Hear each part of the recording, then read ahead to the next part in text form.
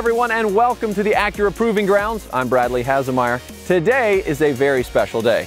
I'm going to get to test drive the brand new, completely redesigned Acura RDX before it even hits the market. I'm going to be comparing it to this, the Infiniti QX50. We're going to figure out which one of these belongs in your driveway. Let's go.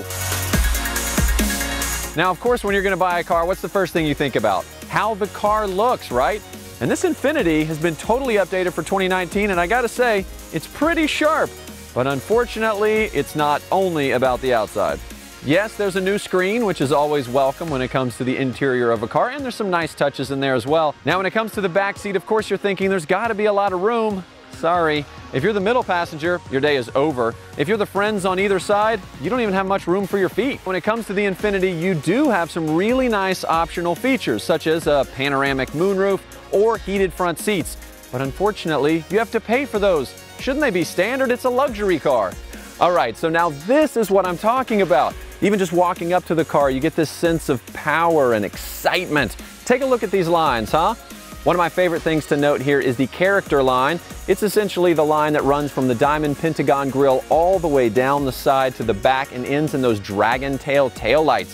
If you drive a car with a dragon tail tail light, your day's automatically gonna be better. Another design feature that Acura did is they increased the wheelbase. And what this does is give you a more comfortable ride, gives you more interior space, and gives it a more overall powerful stance. Win, win, win all around. And that's just on the outside. Let's go in the car.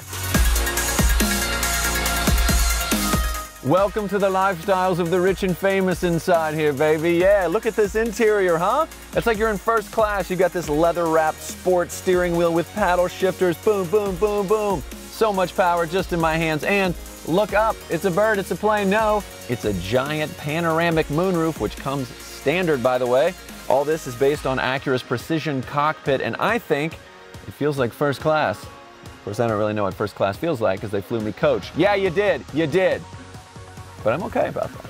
One of the things I really love about this new interior is this 10.2 inch display. It's sharp, it's crisp, and it works with what I call the brilliant true touchpad interface. No hashtag fake news, only true touch here.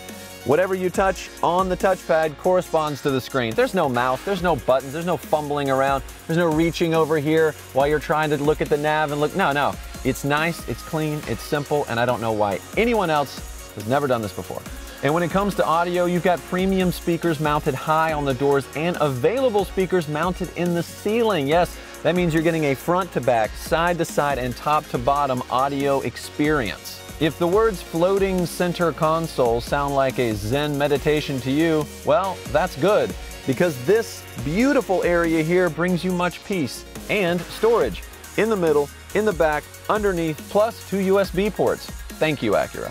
Let's just pause for a second and take a minute to reflect on the beauty that is this front seat. It's rich Milano leather, perforated so it's ventilated. That also means it can be heated. This thing can be adjusted up to 16 different ways. It's super comfortable, which is great for long road trips or just gazing at the moon through the moon roof. Of course, the people sitting in the front of the car have great legroom. Almost everyone offers that, but a lot of the competitors cram your friends in the back, especially your least favorite friend. You know what I'm talking about. Middle seat, yeah. Middle seat Sammy is not happy in the other competitors' cars. But here, with no raised floor, he's thrilled. Oh, and also there's two more USB charging ports back there. You don't have to talk to your kids, plug them in. And this is an SUV, of course, so let's talk cargo. Back here, cargo is top notch. Check this out. Convenient underfloor storage, yes, perfect for hiding all of those things that you don't want seen. And unique to this segment, ta-da, even more underfloor storage. Now, let's say you've got something large that you need to put back here. That's fine. Just pull these handles. Boom. All seats fold flat. Now it's time to find out which one of these two has racing in its DNA. Oh, there we go. That's what I'm talking about. That's all thanks to the 2-liter turbo in this RDX. It delivers a surprisingly large amount of power and torque. And a lot of that torque is that 0 to 30, so you're really going to feel it as you're taking off.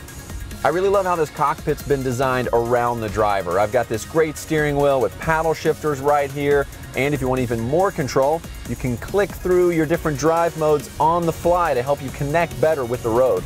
And this RDX features available Acura Super Handling all-wheel drive, which can distribute power from the front to the back to give it more agility and more control. And you really feel that when you're entering some of these curves. I mean, this does not drive like an SUV. All right, so if you're looking for something that's fun to drive, something with a little bit of punch and also control, this is the SUV for you. You know, Acura obviously didn't hold back one bit with this new RDX. All right, here we go, the Infiniti QX50. Got a nice bit of jump off the line, but you hear that whine? Yeah, that's a CVT.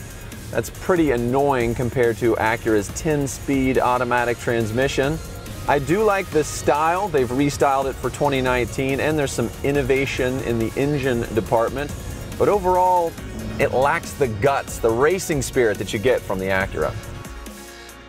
Hey, no disappointment here. The all-new Acura RDX is bold and distinctive. This SUV also comes loaded with so many great standard features that you'll pay an arm and a leg for on other brands, and I prefer to keep my appendages, thank you.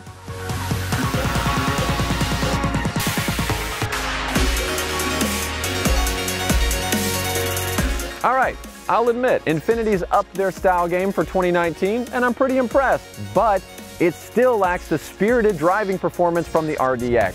I mean, this thing really stands out, and that's why it deserves to be on your list. Plus, it comes loaded with all kinds of standard features like Acura Watch driver assistance technologies. We didn't even get a chance to talk about those, but now it's your turn.